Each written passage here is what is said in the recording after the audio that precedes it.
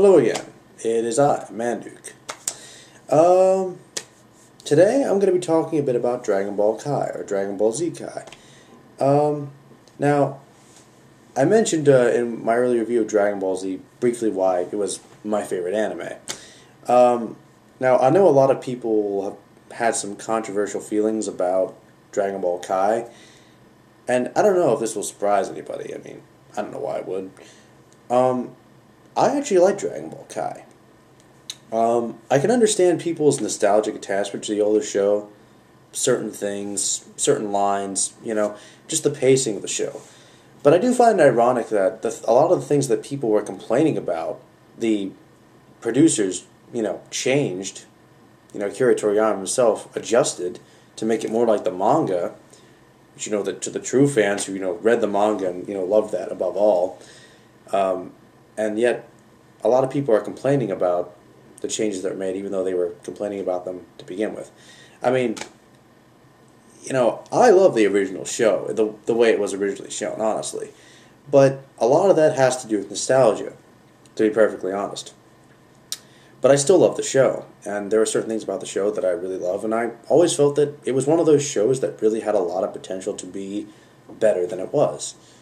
Um, it might have to break away from its repetition and go into, you know, more depth and more complexity and storylines and character development than it was built to do, but then again, then it might not be Dragon Ball Z. The point is, Dragon Ball Kai is basically, if you haven't seen it yet, or you refuse to see it, or if you watched one episode and then said, no, hell with it, um, there's nothing different about it. It is basically a recut, edited uh, format of the original series that's kind of been remastered. It's not like they did completely new animation, which would have been awesome. Um, but they basically enhanced it to make all the imagery brighter, got rid of some of the line to make it seem, uh, I guess, shinier. It just seems like a newer show. Like the animation genuinely seems a bit newer. It seems more up to date. Like it could have come out, you know, a year ago or less, which it did.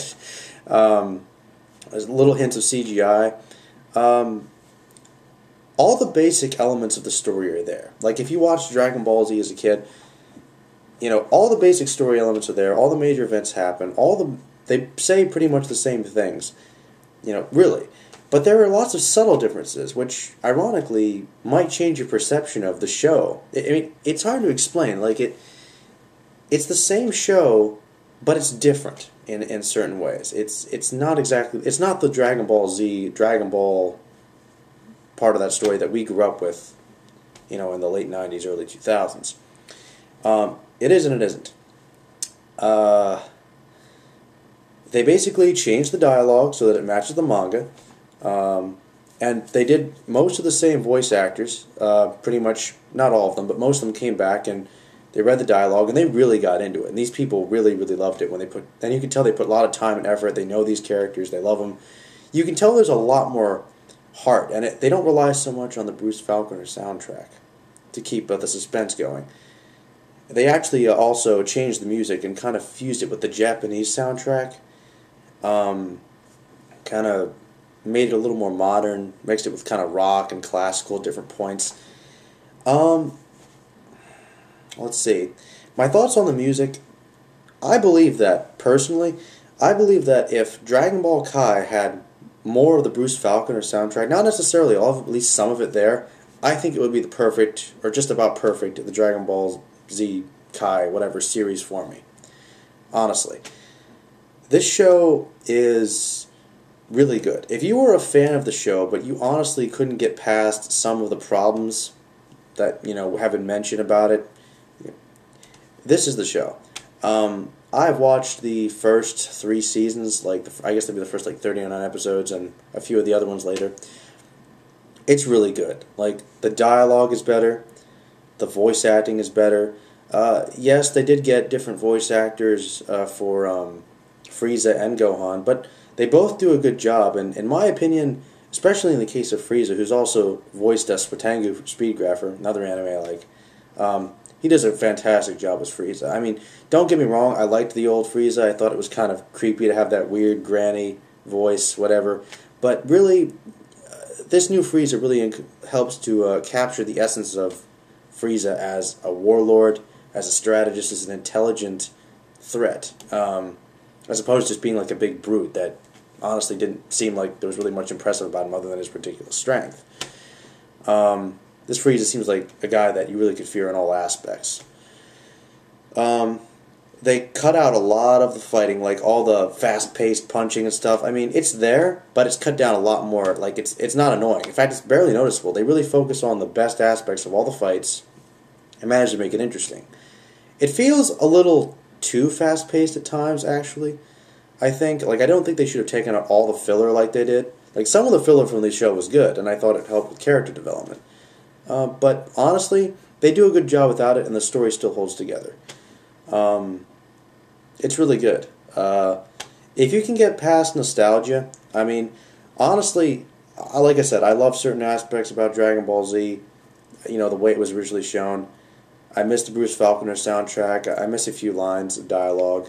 Um, a few of the lines of dialogue I think kind of you know missing kind of annoy me, like Goku really having um, deciding. There, there was actually one thing about uh, about Dragon Ball Kai that really annoyed me. Really, really annoyed me. And that was probably the slight difference in Goku's portrayal as a character. Uh, my only real, real big gripe with the series, which I know isn't really, I guess, a legitimate gripe, but um, it's just that some of the lines that he said in the original version of the series are different than in the new one, uh, than in Kai which is truer to the manga, truer to the character. And it's still Goku, but basically when Krillin's about to kill Vegeta after the battle on Earth, Goku just wants to let him live and tells Krillin not to kill Vegeta. But not like in the original airing of the show back in the Ocean days when he said basically, you know, don't let him go because I see the good in him and, you know, I, I think that everyone deserves a second chance. Which is a stupid reason, but at least you can kind of forgive Goku because he's so naive, he's so pure hearted. You know, it's just Goku's character. It's one of the reasons you love him. You know, he sees the you know the best in everybody, and that's his greatest strength and weakness, really.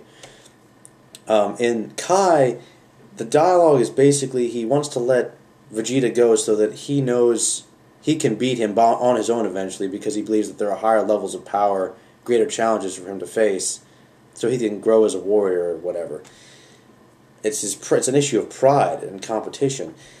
And honestly, I thought it made Goku seem less intelligent and kind of shallow. I, I know that's pro- that's not really how it, it felt. I mean, there's the whole warrior code, and it was Goku. It was Goku's character, but I don't know. It was a slightly different twist, and just kind of added um, different feelings about the character. Plus, they got rid of Vegeta's death speech later on, which I thought the first one was better. The one in Kai I thought was good, but not quite as good. Um, but really, it's just it's just nitpicking. Anyone that's reviewed it already kind of knows this. Um, but seriously, in my opinion, if you're a Dragon Ball Z fan, Dragon Ball Kai, from a critical point of view, an objective point of view, it is a better show. It's a really good show, uh, honestly. It's got all the same old Dragon Ball Z stuff, but it brings new freshness to it. And it it tells the same story, but in a new and honestly truer way to its base form. Um, it's really good, and um, I can't wait to uh, see the rest of it. Um, yeah, uh, Dragon Ball Kai is definitely worth checking out. If you don't like it, I can understand that. There's got to be some nostalgia, but um, quite frankly, uh, I, I, bought some of the uh, original seasons of Dragon Ball Z, but I'm probably going to buy some Kai too. Um, as silly as that sounds, I just like it. It's it's just really good. Uh, it's it's definitely worth checking out if you haven't seen it. But yeah, Kai is really good. Um, yeah. Uh, that's all I have to say about that. Uh, this is Manduke once again, signing off. See you next time.